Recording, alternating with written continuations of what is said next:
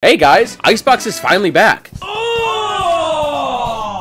What team comp should we run? Hmm, maybe the old meta one? No, no, we need Sage. How else are we gonna plan B? Sage, what do you need, Dater? Let's run Raze, Fade, and Deadlock. Then they'll never be able to plant. But I wanna play Chamber. Alright guys, that's enough. I think I have a way for us to pick a team comp. Feast your eyes!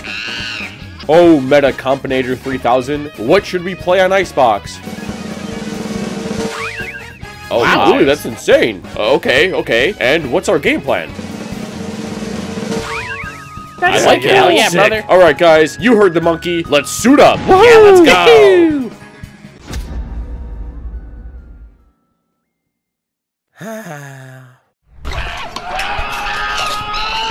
Well, I'll tell you what, you fat little cunt. What is this? What's wrong, Jimmy? Uh, you can win with wacky team comps. You just have to think a little more. Give these guys a chance. No, Teets. I bet they're just throwing. I hate ranked. Well, you know there is a way to detect trolls, right? Even if they're hiding their name.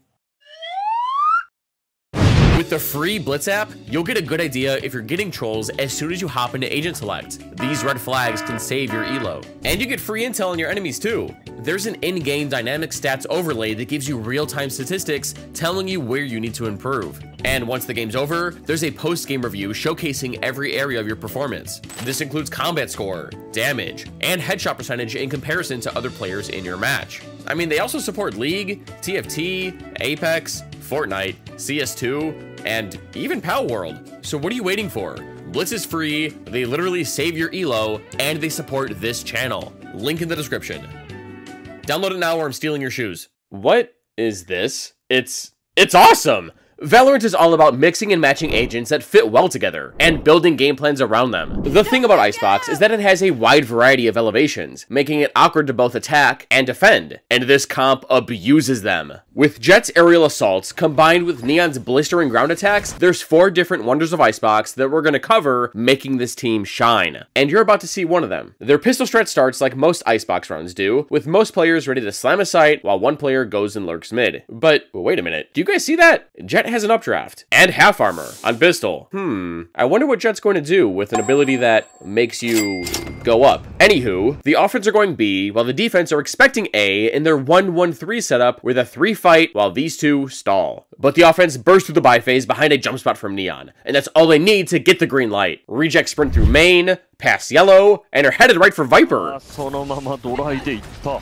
Ability は本当ない。Uh, let me ask all you a question. If you're Viper, which one do you shoot? Is it A, the Jett updrafting dashing on top of you? B, the neon sliding past you to the right? Or C, the Cypher running at you with his knife out around the corner, foaming at the mouth? Wrong. You aren't killing any of them because Breach is backing all three of them up with a fault line from Yellow. Viper got hit from every angle, from the front, the back, and on top. This is why Breach selflessly gave his ghost to Jett. He's not going to get any value from it all the way back here. Instead, Jett was able to abuse the verticality that B-Side provides to her advantage, while Neon slipped through one side and her Cypher swung the other for a suffocating triple pinch on one of Viper's favorite areas to contest the plants from. Remember, this multi-elevated crunch is only the first of four Wonders of Icebox that we're going to see in this video, each of which make this comp's game plan seem more and more convincing. But the round isn't even close to over. Just look at the timestamp. Yoshi has traded out her Viper for a Cypher, and Scars are double-checking Kitchen for any lurks. RC gets the plant down, but did the defense know Neon snuck out the back door? 2に対してのリテイクでこれだけのエリアが取られてるとなると非常に難しいがスカーズこれあの1を潰したこれで Yeah, they did know. You got me. Yoshi's really carrying this round, by the way. As he dropped from kitchen, he recognized that his Viper saw Neon slide this way earlier, and that none of his teammates are through Snowman. They don't have control of this space and need to treat it like a danger zone. But once it's rinsed out, the defense can focus on this half. Viper gets pierced by a shock dart, almost a second, and Harbor flips up his high tide. Now what are the offense going to do? そしてハイタイドを使って車線を切っていったまあ後部もありますからねし。っかりとアンダーのチェックも怠りません さあ体力があるヨッシーはハイタイド前顔を出すいやー強い。さあ先ほどのラウンドに続いて このラウンドでも This is exactly why teams run Harbor on Icebox. When his team is retaking site, his first step is to put up his high tide, and once that's done, his team can flood out, clear what's in front of it, deploy his cove, and it's at this point where the enemies are screwed. All you have to do is tap the defuse and they'll start freaking out. They have to spam the spike in order to get the diffuser off. But you also have to burst this bubble, and with this wall blocking it, you don't know what's going on behind it until it's too late. And now with rifles, this isn't the worst thing, as the cove only has 500 health. But with pistols, the better play would have been to, Hey, you big weenies. What are you doing? Get up here and fight. If we don't, they're going to retake with Harbor's Cove. Then we'll lose. Uh, but what they did instead was stay yellow and die. So while Reject started this round with their foot on the gas, they took it off just a bit too early. Despite losing Pistol Round, Reject tried a strat that might look troll, but makes a lot of sense. Their entire team either saved or bought pistols, but Jett bought a Guardian. And no, she's not trying to hog all the weapons and kills like a Fatso. This is because, like we saw in Pistol Round, she's the best agent for taking engagements. And if she dies, one of her teammates can pick up the rifle and have their turn. Especially on Icebox, where the plan of attack is to usually group up, scale, and run it down, the Guardian can get tossed around pretty easily. It's like a big waterfall effect of everyone having their turn with the Guardian. And Jett did find an opening with it, which eventually led to them winning the round. But then Reject gave a round back to Scars, despite them only having classics. How? Because this map has been out of rotation for 9 months, and B is still a busted site without Sage, Harbor, or Gekko at least. Anywho, this round, I'm about to show you guys arguably the coolest execute you'll ever see. It starts with Reject's 4-1 formation, ready to barrel down A site, into Scar's soon-to-be 2-3 setup. The defense recon, it gets broken. The offense use their cam, broken. And the defense try to wall up, but it's too late. シンクロナイズドスイミング空中でダブルピークを仕掛けてきた Golly! Did you guys see that? And Neon was like, and Jet was like, and Neon was like, Oh, duh. sorry. Uh, But this execute is similar to what we saw on Pistol. Reject's comp is built around abusing the verticality provided on both sites. With Neon torching anyone on the ground, Jett whizzing by anyone in the air, and Breach bombarding people from the backline, this comp starts to look like a well-oiled double penetration comp. Oh wait, that doesn't sound right. A double dive comp. Because Neon and Jet are so quick and can easily scale up and over obstacles around the map, site becomes hell for defenders to play in. Making this the second to four Wonders of Icebox where these two can abuse this verticality. Icebox is all about four or five manning a site, running it down over and over, so why not play to the map's strengths? But their execute is more complex than Breach Stun and Neon Jett Go Kill. Look closely. To start, Cypher cammed to this wall like a bougie Silver and cleared close for his duelist to run up. And for a brief second, you can see Breach stun the left side of sight, while Neon lined up a relay bolt to cover Jenny and top bottom rafter, meaning anyone playing on sight would be trapped inside and getting eviscerated by this high-low double dash. And once Neon knew that there was more people wanting to dance, she whipped out her ult, which is prime for punishing these close quarters fights. That's also why Neon bought a Stinger. It's the perfect tool for this site and game plan. Now the defense did take down Viper, who tried to look through Kitchen with that thunderstorm happening on A, but they don't feel confident enough going up against Breach's Rolling Thunder and elect to save. Wanna see me slam A? Wanna see me do it again? Reject are on fire. They feel their toes tingling and want to hit this site fast again. Four attackers ready to scale, three defenders prepare to defend. But this time, Jett has migrated over from B, ready to contest this early line on A and prevent another fast hit from happening again. Are Reject going to be able to push them off without a drone? The round starts with both teams trading their reconnaissance tools. A dart for a cam. Jett gets taken down, and Neon's pissed. ップドラフト対空出ました。そしてオンリーワン。そのまま立ち回る。残り HP は8さあもう速さで突っ込んできてるブライアン。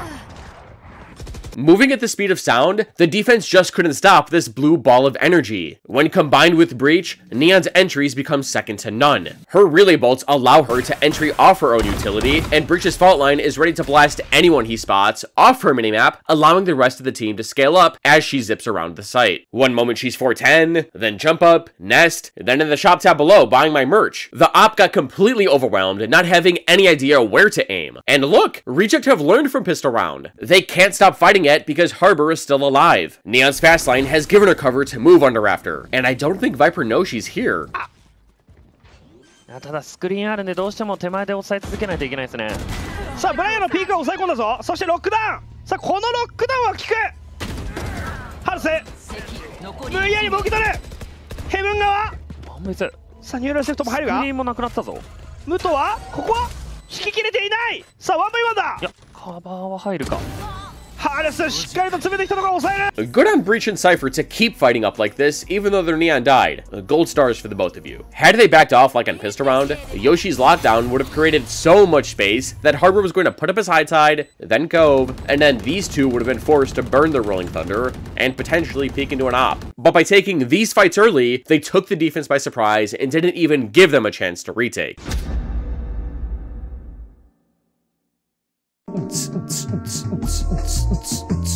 Man, Neon really knows how to raise the roof. Uh, let me show you what I mean.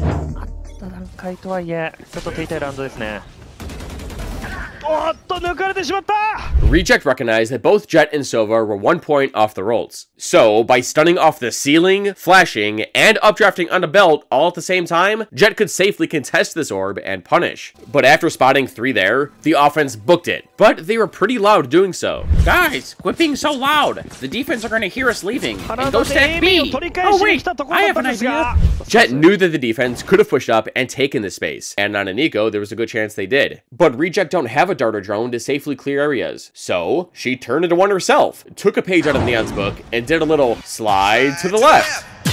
Slide to the right. Crisscross.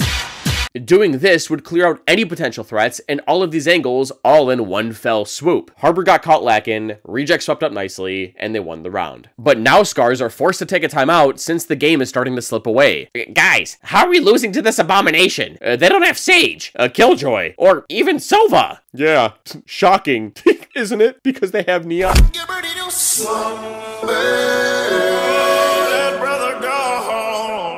Coming out of their timeout, Scars know A's been an issue, but their coach has given them a pep talk, amping them up to get aggressive, get mean, and fight up to contest the attackers, execute early. But Reject are still dancing. They're busting out a new move, but this time on B, expecting that Scars would adjust and reinforce A again. They bounce out of the gate behind the Neon jump spot. She doesn't see anything, and her team guns it up A. But their Viper, who started mid, has applied a ton of pressure by modeling into her own smoke to counter this common Killjoy alarm bot. The defense are now petrified that someone could creep up any of these three lanes. But they should be worried about B.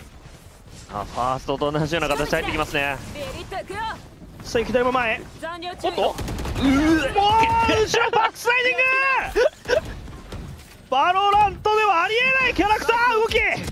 Wow, this comp might be the cure to this common Viper spam. When she anchors down B, she'll be playing in one of two spots, either in Sandwich or Snowman. From these areas, she can spam her snake bites on the meta plant spot, stalling time for rotates, and making B side almost unplayable, unless you have a Sage to wall it off or Harbor to smoke deeper and try to take the space. But Reject know this and don't care about some stupid smoke and plowed right into Viper's home, taking everything she's got. Reject start to get the plan off with a really ball to hold off potential defenders, Indiana uses his extra time to hop, skip, and jump away into Snowman to set up a dirty crossfire with Jett. But the defense knows she's slotted in there, but they gotta be careful. Breach can blow at any moment.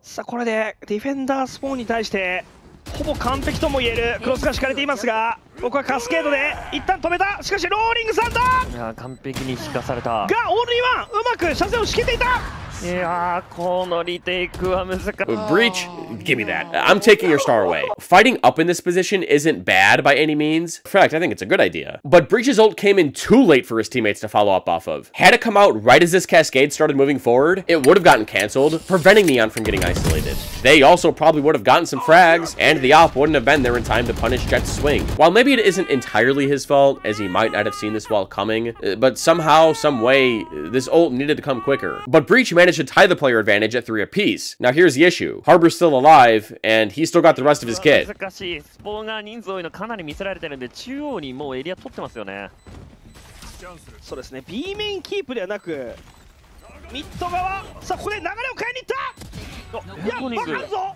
ハルスが レコニングをかわしながら打ち込みますがこの後部は無法。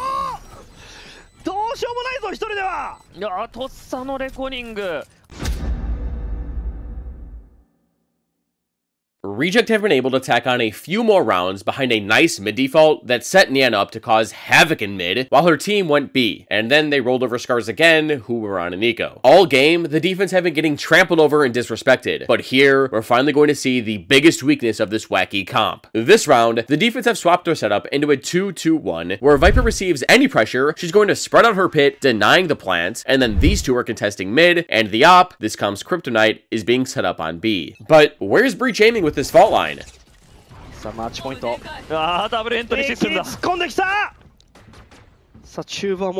uh, did these guys run out of gas? And yes, this should be the third Wonder of Icebox that this duelist duo can abuse. By Jett dashing top tube and Neon sliding underneath, they can immediately double peek anyone in either of these areas in just mere seconds of the vibe barriers dropping. But I think because this Recon Dart tag Jett, she didn't feel comfortable at Mach 10 speeds and slowed down, backed off, and hopped into tube. But would these two have been able to trade out Harbor and eventually pinch this up had they kept going? Maybe. I think they should have kept moving thing, as this was their only chance to take down the 4700 credit skill cannon. Because at the start of the round, Cypher did use his spy cam to act as a pseudo recon dart, but it's not that effective as a scan. Harbor was able to cascade for Jett, which blocked her from the vision of this camera. This then gave Breach a false sense of security that no one could be pushed up this far. And now that he's down, Little Cypher is afraid, calling for Mommy Viper to come over from mid. But now that she's here, the offense are trapped, with an op. スパイクの拾い直しは成功しましたが、このオンリーワンのオペレーターをかいくぐれるか？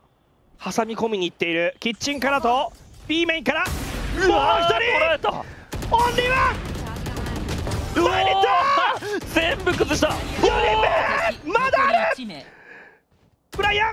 前に行ったやばすぎる。ウィークは Following the round we just covered, the op continued to give the offense more and more problems. She got spotted on this initial jump spot, but that's not enough to push back this sniper. To do so, you need to use smokes to make the opper worried about which angle you're coming from, maybe a flash instead to destroy their retinas and force them back, or, a drone so you can pre-fire them or force them to shoot it, allowing you to move forward. And on Icebox, Breach's flashes don't cover a lot of angles when scaling, Jett's smokes don't last that long, and Cypher's cages are hard to place properly. Having to guess instead of just literally knowing whether an op is in a million different off angles or not is hard to counter. Sorry, buddy, you're just not enough. Remember what happened last round?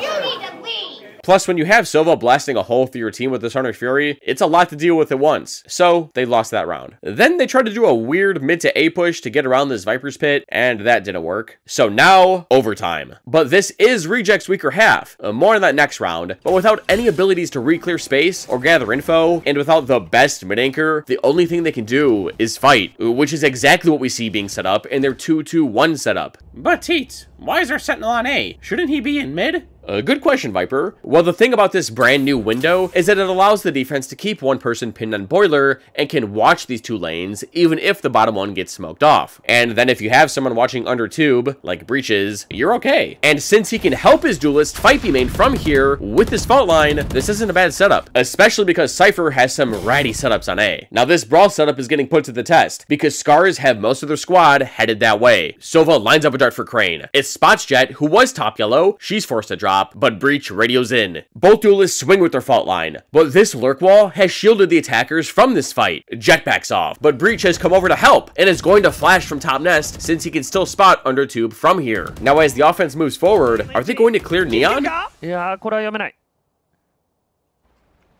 ブライアンの位置いやーやり過ごされているやり過ごされていた さあリレボルト自分自身にもスタンが入ってしまうが後続の進行は食い止めたフラッシュポイントもあったのでここ安全に引き切ることができましたねそして赤目 As soon as Neon took the shot, Breach flashed. She double relay bolted to deny a trade and flipped up her fast lane to get out, like a smooth criminal. But because of all this noise she made sliding and getting out, Jett was able to get up on top of this box, wait for the wall to fall, and got hers without risking her life. And while we're here, Yellow is the fourth and final wonder of Icebox. When Riot removed Green from B main, it became a lot harder to defend as it removed a lot of strong off angles from the defense. But with how well Neon excels in close quarter combat, she can play down low while Jett plays up high for a consistent high-low double peak anywhere. And the same goes for the their offense. Is the defender playing yellow? Tell me. How are they supposed to stop a double dash coming from 90 degrees above them and a Neon who can actually run and gun? Regardless, the bait and brawl setup has given Reject a player advantage, and this trade on the lurk through mid has made it a 4 versus 2. Viper and Harbor drop back to catch their breath before deciding to put up their toxic screen back up 右側の and 人数 scale の姿 forward. すごいですね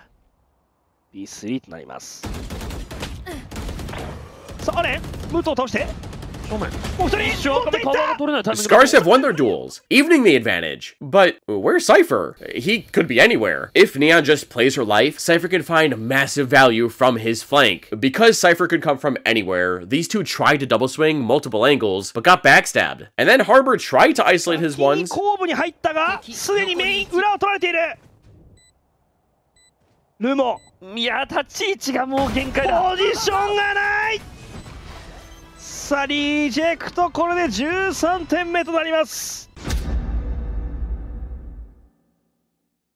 Ah, ah, ah. You can't leave just yet. Listen, I I don't want you guys to have the wrong idea. This comp is great, but has its weaknesses, and not just dealing with an op. As a matter of fact, defense should be hard for this team. And it kinda was. On the first pistol round, Scar started by defaulting into B main and planted their Viper behind cardboard. Slotting in lurks is smart, because the defense lack tools to clear out areas of the map once they've been defaulted into. But they kind of have one thing that they can use, and a lot of them actually. Bullets. 右側に関してはサイファーがいるんで Yeah! Because this Lurk went down, Reject were able to shift over and stack A just in time to win Pistol. Then on the bonus, Breach tried to stun Garage so that Neon could get a freebie with her Bucky.